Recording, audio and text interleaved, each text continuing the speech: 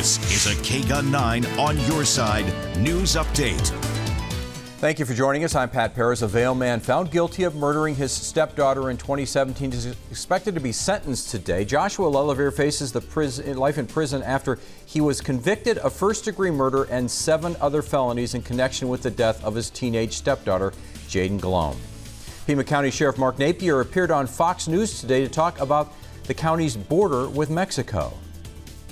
What pulls on my heartstrings is my deputies recover over 100 bodies a year in the deserts of my county alone. And that is a humanitarian crisis. And those are only the bodies that we find. We have absolutely no idea how many bodies are out there. Yeah, he says anyone who suggests that what's happening at the border is not a national crisis is disingenuous, almost to the point of being dishonest with malice. That's according to Napier. Let's check with Kyler Diggs, who's uh, got kind of status quo from what we've seen the last few days for the next few days, right?